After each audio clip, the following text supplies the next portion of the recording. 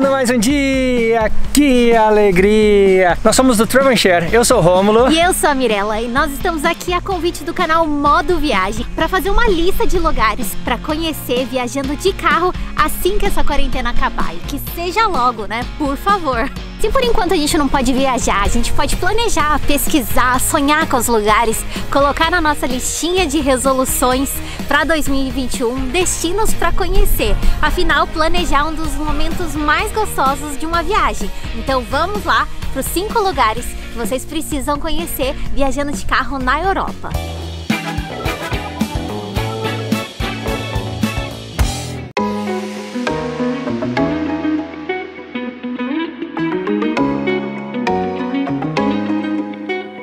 Em quinto lugar, a Escócia. Se você gosta de lugares que parecem cenários de filmes, o seu lugar é a Escócia. Filmes como Coração Valente e Harry Potter foram gravados lá. E também as séries The Crown e Outlander, que é o viaduto mais conhecido e visitado de toda a Escócia. É o mais extenso da Escócia, com 380 metros. E ele é muito famoso porque foi aqui que passou o Jacobite Express, que deu vida ao Hogwarts Express de Harry Potter.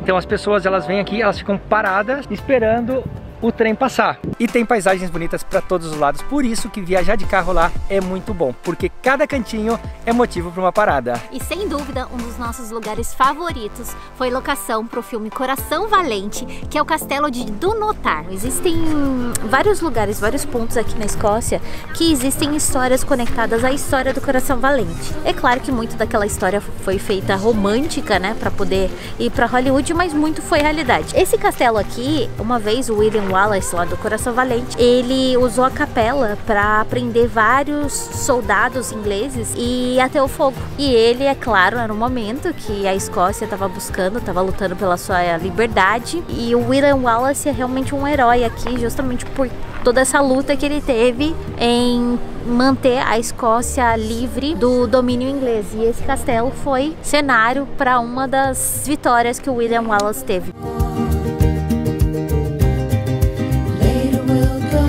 Duas coisas são bem diferentes para viajar de carro na Escócia. Primeiro, porque as estradas são bem estreitas, e segundo, que você dirige pela mão contrária. Acaba se cansando bastante de dirigir nessas estradas que são muito estreitas, tem muito caminhão, as pessoas dirigem como maluca. Quando você chega no destino, quando você chega no lugar, você não consegue estacionar. Mas nada de se preocupar se você estiver dirigindo um carro convencional.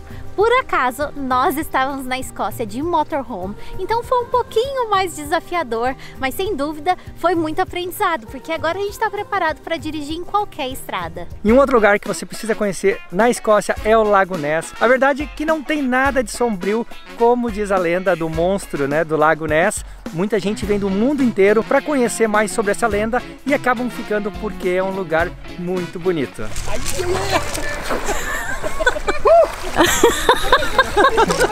Olha o escocês ali, tá nadando como se nada tivesse acontecendo. Sério, eu nunca entrei numa água tão gelada como essa. Deve estar o que, Ramiro? 10 graus aqui dentro? É muito frio. A água do lago é super gelada, mas se você visitar no verão e for bem corajoso, consegue se banhar igual o Romulo fez. Olha Eslovênia, Eslovênia! Eslovênia, Eslovênia! Eslovênia, país de número 33!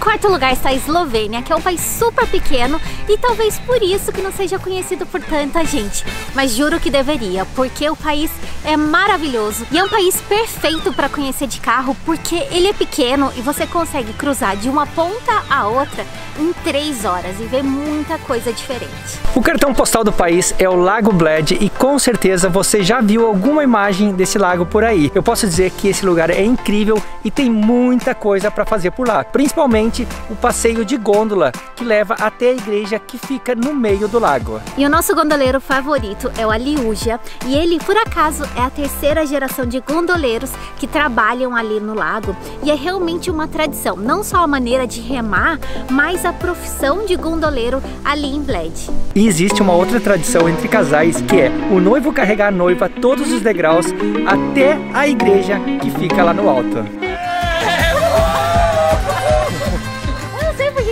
Cansados. Pra mim não foi cansado nem um pouco. E ao redor do lago tem muita coisa pra fazer, né? Você pode dar uma volta inteira, que são 6 quilômetros. Você pode fazer isso caminhando ou de bicicleta. Mas ali tem muita coisa pra fazer, porque tem restaurantes, tem bares, cafeterias, tem até um escorregador de montanha, que eu acho que é uma das coisas mais divertidas que nós fizemos lá na Eslovênia.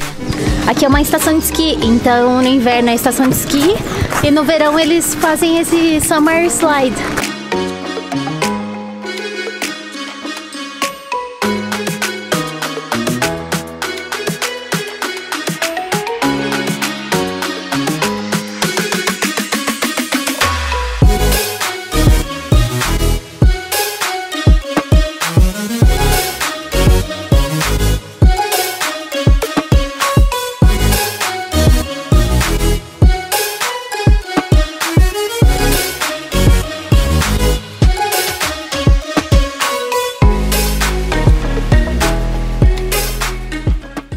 Bled, a gente se hospedou num conceito diferente de hospedagem.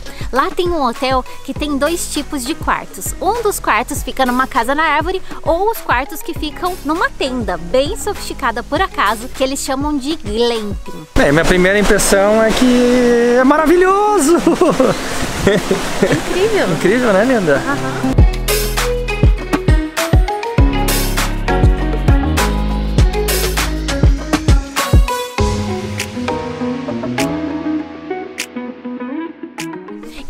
Hotel ele não só tem esse conceito de hospedagem diferente, mas também tem um serviço de restaurante bem legal, porque eles plantam tudo que eles oferecem no menu. O cara perguntou onde que a gente quer sentar. Sabe qual foi a resposta da Mi? Onde quer sentar a Mi? Aqui. Uma mesa com grama, só que não é clorofila. Você não pode comer essa grama aqui. Ela não é usada, utilizada para fazer suco de clorofila. É só para decoração mesmo. Yeah, you can you can take it. It's Tem- good for the kidneys. Então tem salsinha direto ali na, na mesa. Você pode pegar e colocar na tua comida na hora que você estiver sentado ali. E ainda no sul da Eslovênia você pode conhecer a região das cavernas. Existem mais de 11 mil cavernas e a mais conhecida é a caverna de Postojna. Ela ficou muito conhecida depois que eles construíram uma linha de trem dentro da caverna para transportar os visitantes. São 3 quilômetros de trenzinho até as galerias da caverna e depois mais um quilômetro caminhando e conhecendo toda a caverna por dentro. É um passeio muito bacana para quem nunca visitou uma caverna antes.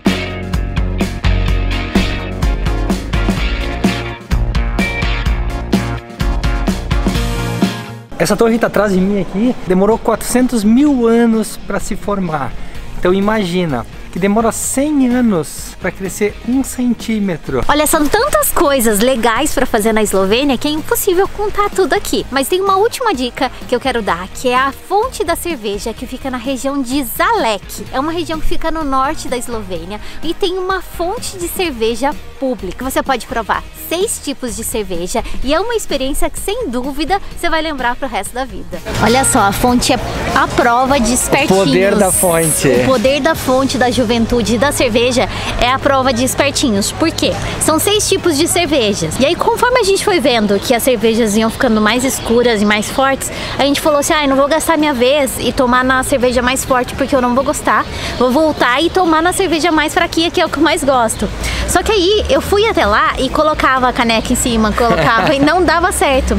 E aí fui perceber que tem tipo um código aqui. Tem um Tá código. vendo? Tipo um. Sei lá, como é que chama isso? Um código de barra? Não é de barra, mas é um código. É tipo um chipzinho assim no copo. E aí esse chip que faz a leitura, provavelmente ele deve dar direito a Aí. uma caneca. A gente pagou 6 A gente pagou 8 euros por, seis canecas. Então ele já tomou as 6. Então, mas o problema é o seguinte. Ele não aceita a mesma, você tem que tomar diferentes. E aí as pessoas começaram a olhar na minha cara. Eu... Aí eu olhei pra baixo e falei, hum, olha aí, a prova de.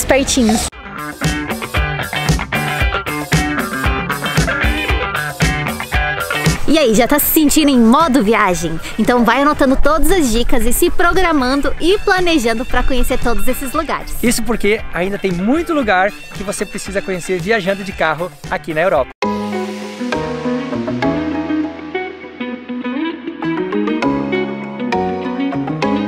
Terceiro terceiro lugar tá a Áustria, que é um país que, juro, tem lugares e paisagens que parecem uma pintura. E tem tanta coisa linda que só de cruzar o país de carro você já vai se surpreender. E o primeiro lugar na Áustria que você precisa conhecer viajando de carro é a região de Tirol, porque lá você vai encontrar a Áustria dos cartões postais. Sabe com aquelas casinhas bem típicas e também as montanhas. E lá em Tirol, um lugar que a gente gosta bastante é a região de Vatten. É onde fica o Museu da Swarovski, que é um museu muito legal, mas também tem o Jardim de Cristais, que juro, vale muito a pena a visita. É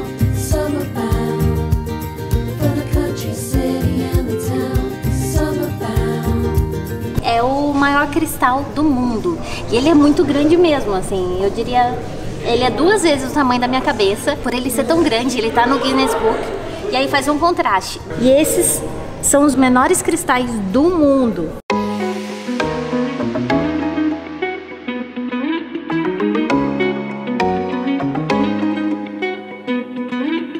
Aqui no alto tem mais de 800 mil cristais Swarovski. Eu fiquei me perguntando, mas peraí, os cristais é tipo uma pedra esculpida, tipo um diamante?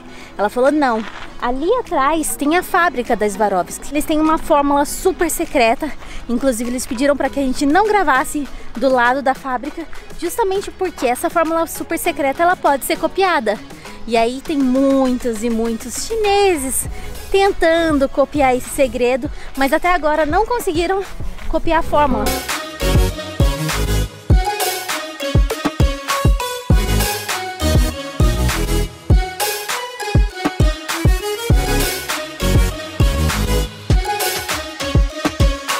E ao lado da região de Tirol tem a cidade chamada Hallstatt, que é uma cidade muito turística, parece cenário de filme. E a curiosidade dessa cidade é que ela foi copiada pelos chineses. Isso mesmo, é, eles fizeram uma réplica dessa cidade lá na China. E ainda em Tirol existe um dos spas mais visitados de toda a Áustria e é maravilhoso porque ele tem vista para os Alpes e você pode escolher em só aproveitar o spa ou ficar hospedado no hotel que tem lá. Esses spas aqui na Europa são muito comuns porque os preços não são absurdos assim. Por exemplo, um spa como esse para frequentar, para usar as piscinas aquecidas, para usar sauna, é algo barato, acessível para qualquer um. E muita gente nada em lago ou tem piscinas públicas.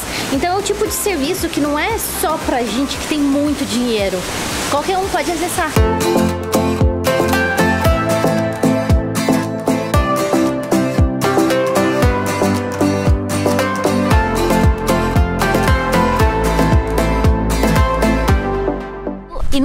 Sul da Áustria tem o Lago Verde. Quem gosta de fazer caminhada vai amar esse lugar, porque é uma caminhada super bonita ao redor do lago, principalmente porque é um lago de cor diferente. Esse lago, ele tem água de degelo, então uma coloração bem esverdeada, mas não é um verde comum. Se você não gosta de caminhadas ao ar livre, tem uma outra sugestão ali próximo do Lago Verde, que eu acho que sim vai te atrair, porque ali é a região dos vinhedos austríacos.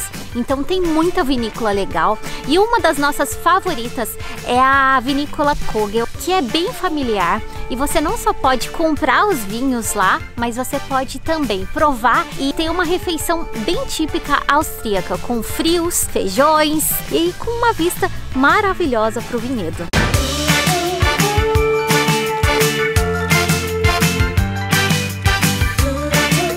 Independente da época do ano, se você gosta de neve, você precisa visitar o Skywalk, que é uma passarela que fica no topo de uma montanha e para chegar nesse topo você precisa pegar um teleférico. E lá você pode caminhar numa ponte de chão transparente e também visitar o Museu de Gelo. Esse aqui é onde a gente queria chegar. Tão sonhado ponto no alto das montanhas.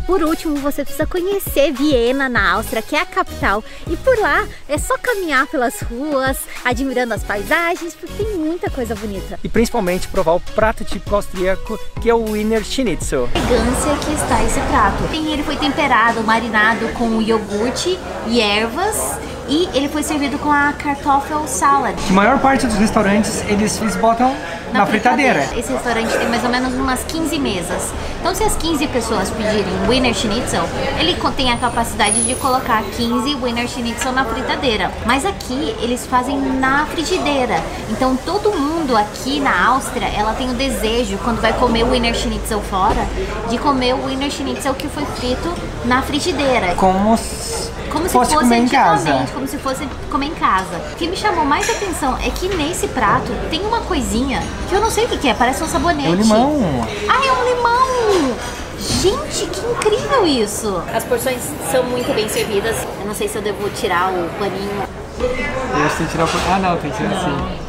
Olha, começou a fazer muito frio lá fora, então a gente veio aqui para dentro do motorhome e o frio que tá fazendo lá fora parece muito com o frio do segundo lugar da nossa lista. Que é a Islândia.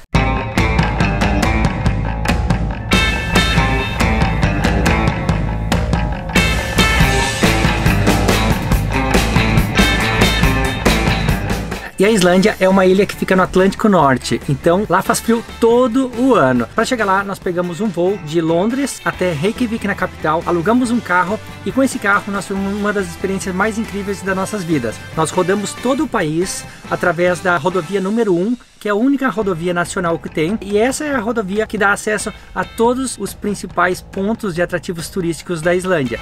Que chegou em Klekfavik, que é o aeroporto internacional, veio até Reykjavik, comprou uma pizza e seguiu subindo.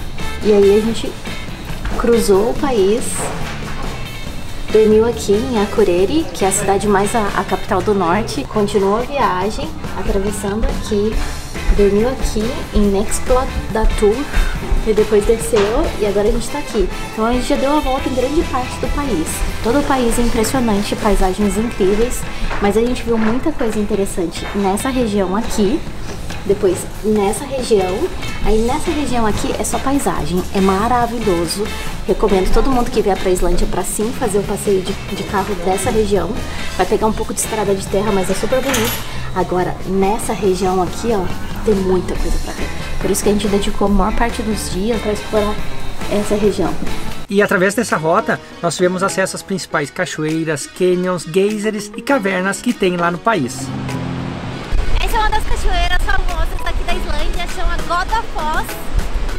É muito lindo e faz muito frio. A recomendação é que você se programe pelo menos para viajar pela Islândia por 10 dias, porque lá o tempo é uma caixinha de surpresas, então você pode ter dias de muito bom tempo, mais dias de chuvas também. Então você tem 10 dias, você tem tempo tranquilo para se programar para conhecer tudo de bonito que o país tem para oferecer. E se você tiver sorte e se programar para ir na época correta, você pode ainda avistar a aurora boreal. Nós tivemos lá em setembro e a gente teve a sorte de ver a aurora boreal no caminho de volta pro hotel. A gente nem estava se programando para ver isso. Realmente foi uma das experiências mais bonitas que a gente teve no país. Um lugar que me marcou muito foi uma piscina abandonada que a gente encontrou a 20 minutos da estrada principal. Foi uma caminhada tranquila que valeu super a pena.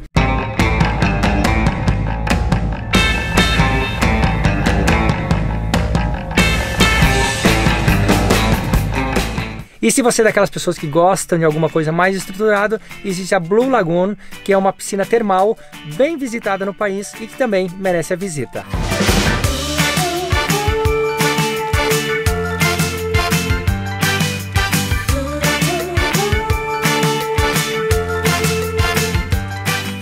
Tem uma máscara de sílica, acho que sílica é sílica em qualquer língua. E aí você passa e deixa 10 minutos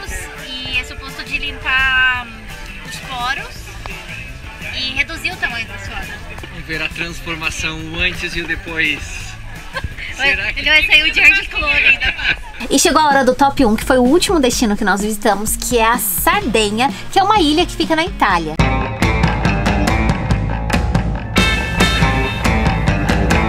Nós percorremos a ilha toda com o nosso motorhome, mas você tem a opção de alugar tanto um motorhome ou um carro na ilha, ou alugar no continente e levar de ferry. Provavelmente o seu ponto de chegada na ilha vai ser a cidade de Olbia. De lá, a nossa recomendação é você conhecer a Costa Esmeralda, foi um dos lugares que a gente mais gostou durante os 30 dias que a gente percorreu a ilha. E depois da Costa Esmeralda, você pode seguir para o norte, na cidade de Santa Teresa Galura. E essa Santa Teresa Galura é bem no extremo norte da ilha, e é tão norte que você consegue ver já a próxima ilha, que é a ilha de Corse, que pertence à França.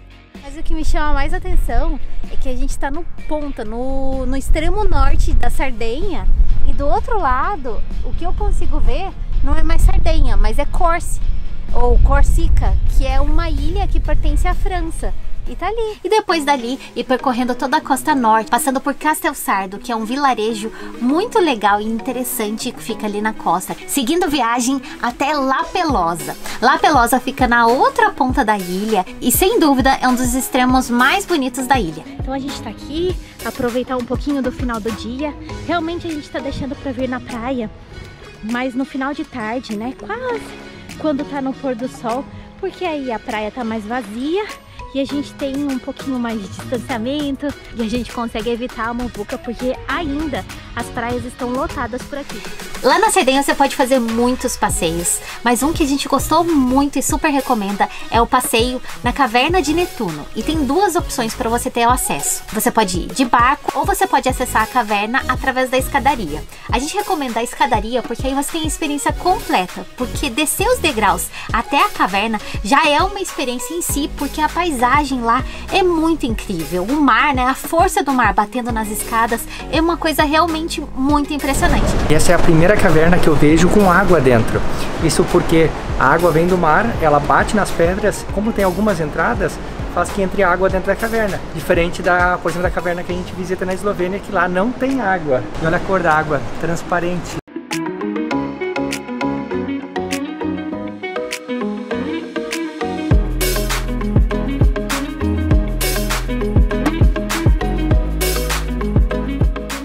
Nós escolhemos a Sardenha como número um da nossa lista, isso porque foi uma viagem incrível. Nós fomos lá para ficar sete dias, a gente acabou ficando 30 dias. É um lugar perfeito para viajar de carro, independente se você vai com seu motorhome ou se você aluga um carro e fica em hotéis. Então foi uma experiência que a gente amou e super recomenda. E aí, curtiram? Tem muito lugar lindo para se visitar no mundo, não é? Então vocês estão preparados para entrar em modo viagem e se inspirar para viajar muito em 2021. Então aproveita, deixa aquele like, se inscreva no canal canal e deixe aqui nos comentários para qual destino você gostaria de visitar assim que a pandemia acabar. Eu já tenho uma lista. Eu também. Então um grande beijo e nos vemos no próximo vídeo. tchau. tchau. tchau.